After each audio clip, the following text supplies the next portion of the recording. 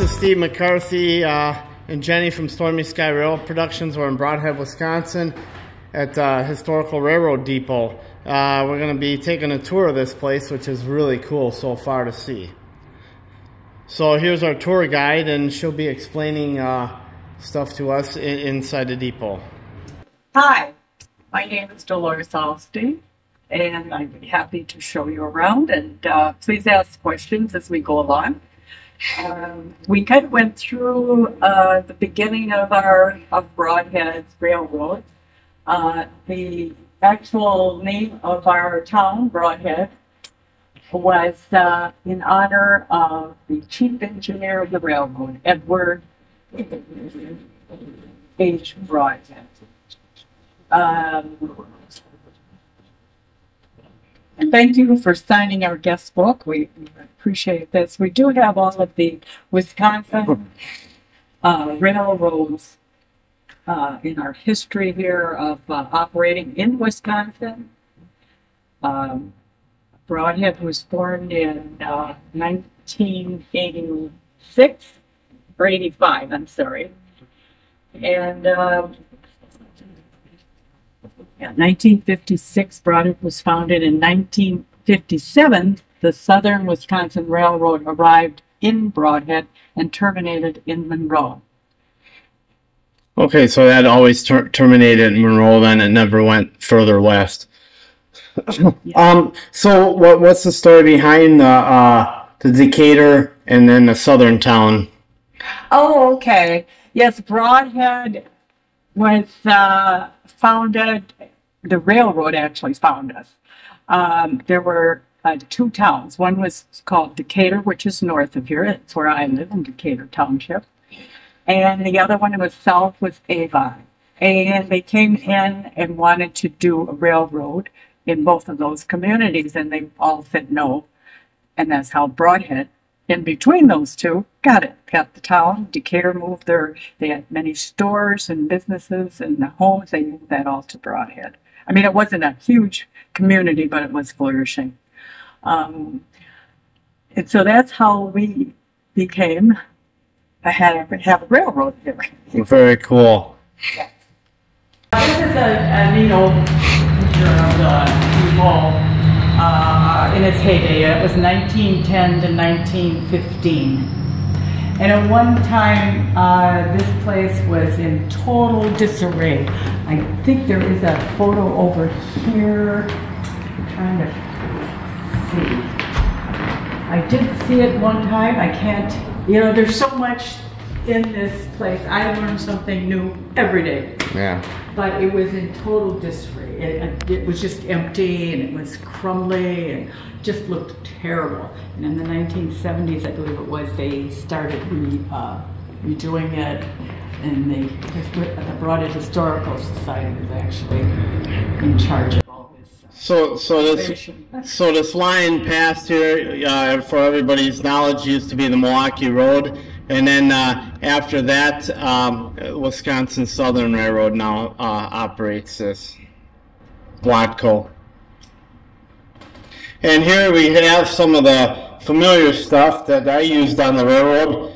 Back when I started, uh, not so much at the end, a lot of it was hydraulic, but there's my favorite tool right there, the spike maul. That was my favorite job on the railroad. And then we got some uh, tie tongs and some rail and some different jacks and stuff like that, and oil cans, lanterns, uh, hand tools. So.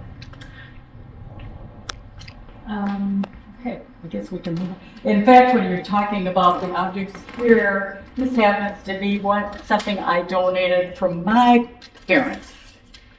Wow. That's cool. Yes. And that's, and uh, just, just about everything is donated here.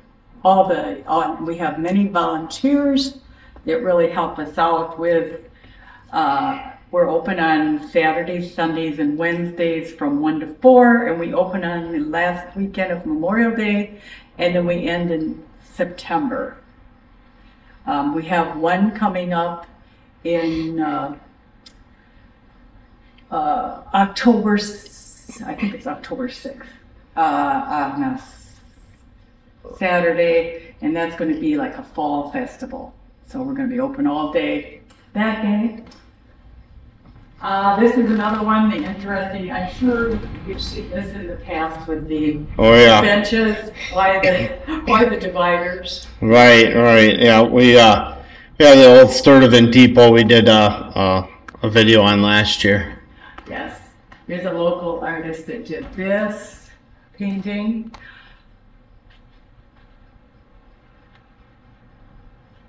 And of course, all of the, uh,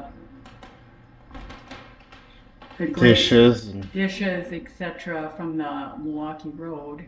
very nice. We have another good one over here. This was, well, this was the Broad Rail Yard from eighteen ninety to nineteen ten. It's just a, uh, put together, uh, showing you the, the blacksmith shop, the cooling bed, the depot, water tower, etc.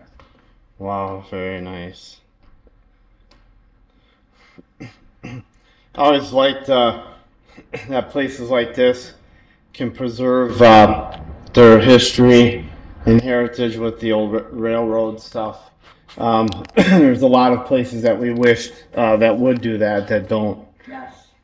And this is, uh, Milwaukee Road, uh, dining car tableware Wow, that we have. Milwaukee Road dining tableware. Yes. And the, the photos too. Yeah. I mean, luxury to me that was pure luxury when you see that dining car and they're sitting there with with all this uh, tableware, which you don't see anymore Right, on planes or anything. It's, it's not there anymore. right. And then too, this was our Brodhead's first brigade band. Uh, in the Civil War, there there is a article about how that was founded, um, and they actually were in Huntsville, Alabama, when they played there, and they're still going today. We just had them on Covered Bridge Days. They came on a Sunday. They're the band and. Uh, they were playing homage to one of the band members' family members, and, and they had a church service in the morning in the park back of us, and then they also had a uh, band playing in the afternoon, Very nice. and it was very, very nice. Yes. So there is a history of the First Brigade Band that people can look up. We do have a website also too. We'll provide all that information of where this place is and everything else in the link in the description of this video. Yes. There is a little, little history here, but I know you. Yeah. Um, And, and, and everything will be on the website, I presume, a lot of information. there should be on the website, yes, you should be able to see it. Uh, we're in the process of adding all the time to the website, photos, um, uh, with information on a lot of our industry that we had at one time, what it was. This is all, of course, cheese is a big thing in Wisconsin. Oh yeah, cheese. Cheese factories. We had popcorn stand. We had pickle factory. Um, uh, red dot chip, potato chips, uh, caramel corn. uh, lots and lots of things going on. And this is all of the old. A lot of these are the old, old photos. Lots of great history preserved. Uh, and there are, like this one here, you'll see this, it's here. If, if you noticed it when you came in, we can see it out through the window here, that, that building. It's still standing, Wow. very good condition. Um, this building is also standing, there's several of them. There was, you know, back then they had fires a lot and there was wooden buildings and they just, sh- like here, there was a downtown fire destroyed Wow, several buildings. that's crazy.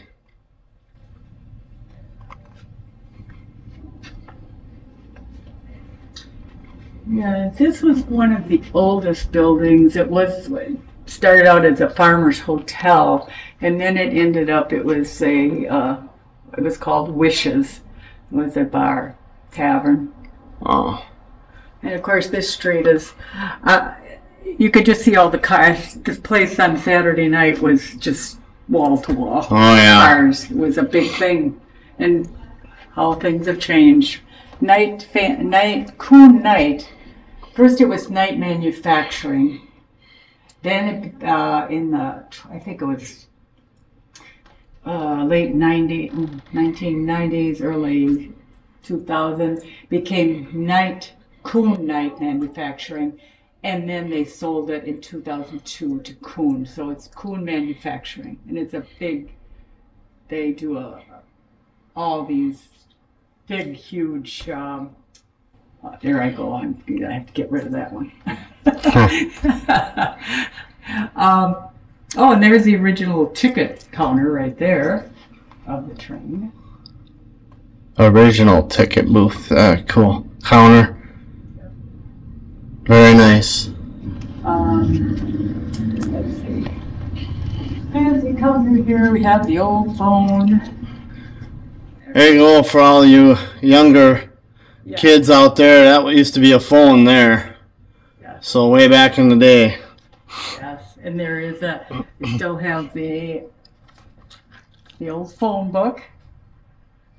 Um, like this business was our Lions Drugstore and the phone number was six two. Six two for a phone number. How easy. And you would take the phone, you, and you would speak in here to the operator and tell, connect me with six two, please. There we go. and I know I lived in the country on a farm, and we had uh, what they called um, Party lines. party line. Yep. Yes, and sometimes you had one you could never use it because someone would be on. Mm-hmm. And this was done by uh, an art club in 1976. That's There was uh, several Neat. from Brodhead. There were women, several women, uh, Brodhead, Monroe, Albany, and Davis, Illinois. They all participated in making that and painting that. And we just received this this spring.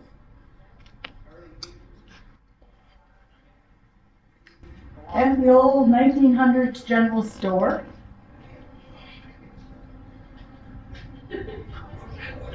Our early, what I would call charge cards. You had numbers.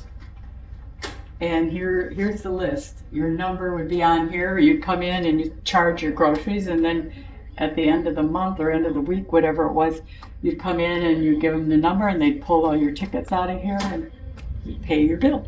wow. That's very neat. Yes. How about this? Uh, a lot of younger people don't know what this is. That's our cash register.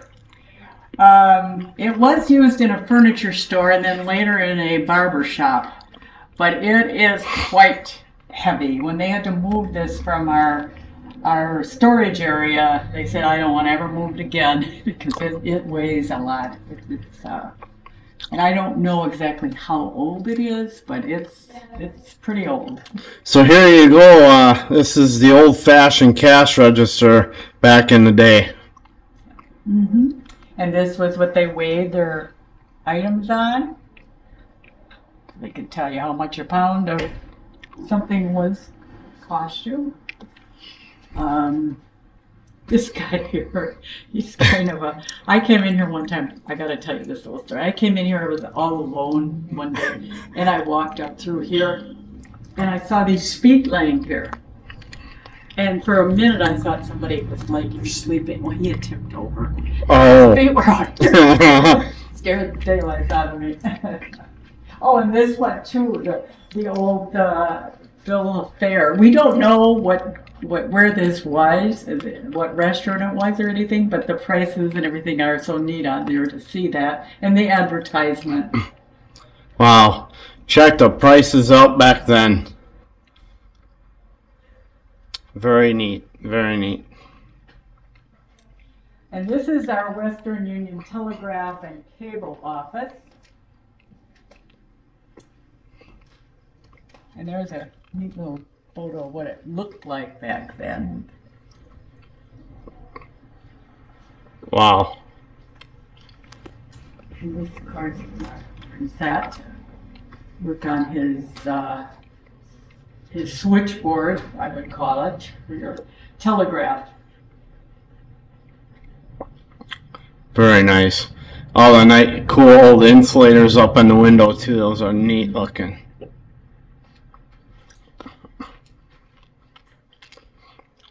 Yeah, so this is our.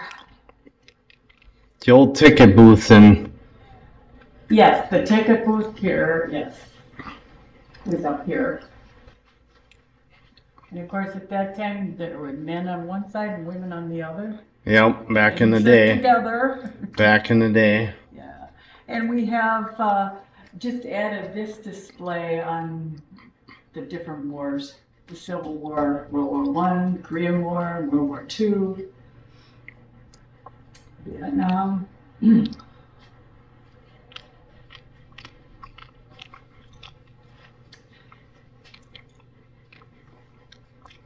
That's a nice print there.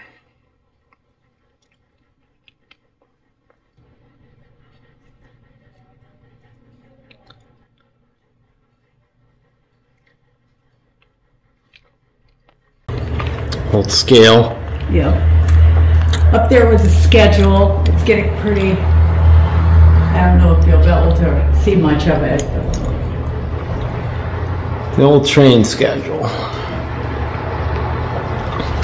And we do have a Historical Society newsletter that is put out, so you're welcome to take one of these if you'd like. Sure. We'll come back after the tour and I'll, I'll grab one. Yeah. Then we'll get information and stuff. So Our museum hours and by appointment, there's numbers too. Yeah. We've, al- we haven't had to close, we did close one or two days when we had that really hot, hot weather. It okay. was so hot. And with fans going, it just didn't help you. It was, you know, there, there's no insulation. This is the old part. There's no heat, no air conditioning, And here we're back, coming back to the old vintage area. Yes. This one,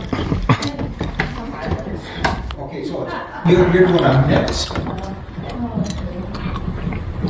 uh, there's someone out here. Oh, yeah. One of you wanna? Okay. Now this is my area, Ah, okay. all the maintenance way area, and uh, the little carts, motorized carts, and uh, riding down the tracks, doing track work, and Yes. all different tools. I know I had a gentleman in here once with, he had worked at, I forget where it was, it's my notes. Um, and he was telling me different things that we should move around so you could see it. Because there's, there's things back here that you can't see. Right. And if we maybe display them better. So for everybody that doesn't know, so this track cart, they open up the door, they, they take it out towards the track, and they put it on the track. That, that's what uh, this room is generally for. All the maintenance way tools and stuff, and then they move their carts to the track. Easily removed and uh, stored up for the night. Okay. And this is our Oh no, here displayed on the, when it was built, 1950, Fairbanks and Morse.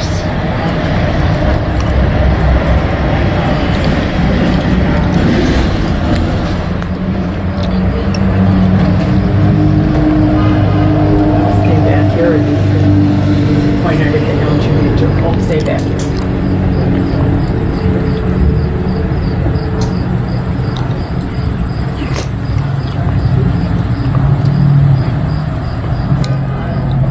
This is actually the scale. You stand. We have seventh graders that come in here every year uh, for the in the spring, and they stand on here and get weighed. Wow, very cool old style scale. yes. Yes.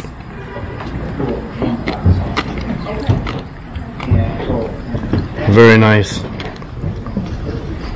And then all the different uh, things we have on display, or the flags.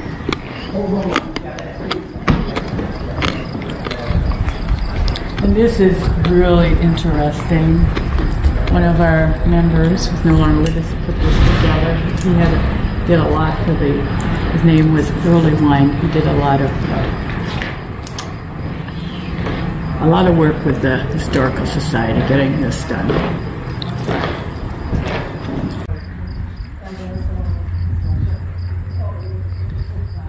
Old Milwaukee Road Bay caboose.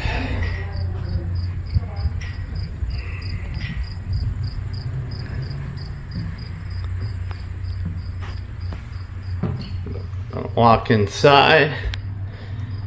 Got the crew members' beds, benches, work areas. You got a stove. It's like a sink.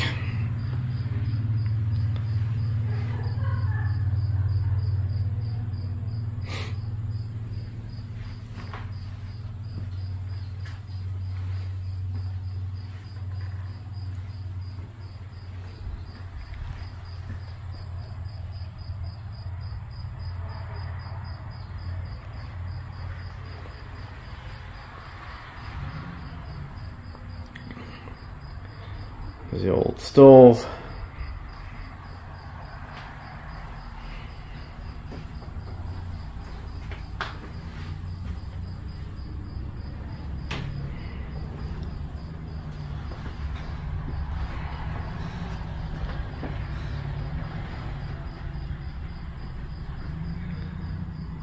Bathroom.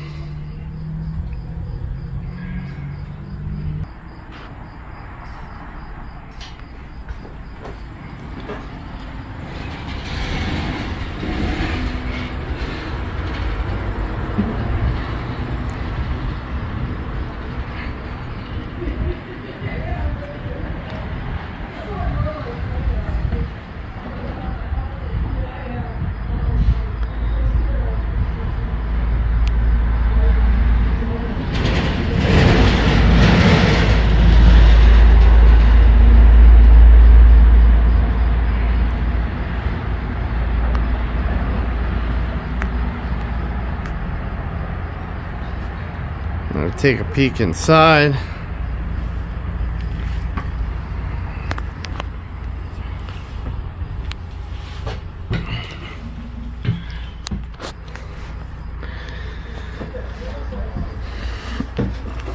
This is the old engineer seat here. All the control panel.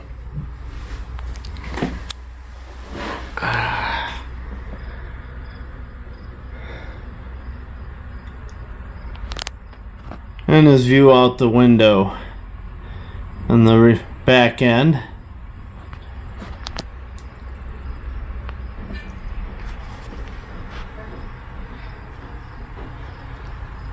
And his view out the other end of the unit.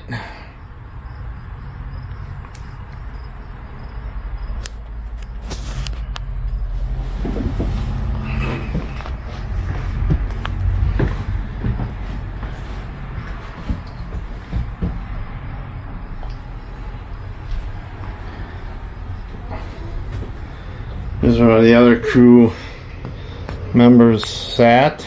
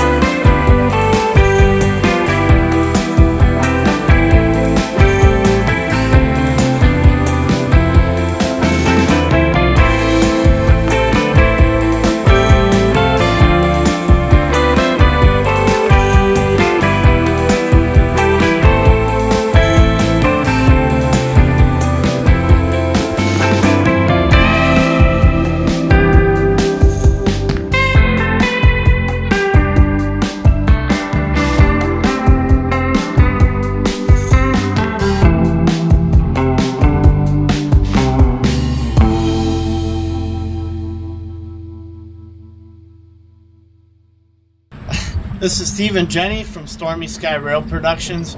We really like to thank Dolores for uh, giving us an inside tour of the Brodhead, Wisconsin uh, Old Historical Depot, uh, which was once a Milwaukee Road, and now Wisconsin Southern runs the line through here. So hopefully everybody enjoys. Uh, we will have links uh, in the description for all this great information out here. And if you're ever in Brodhead, Wisconsin, please uh, come and stop by and sign their guest book. Until then, this is Steve and Jenny from Stormy Sky Rail Productions. Hit that thumbs up, subscribe, and hit that notifications bell.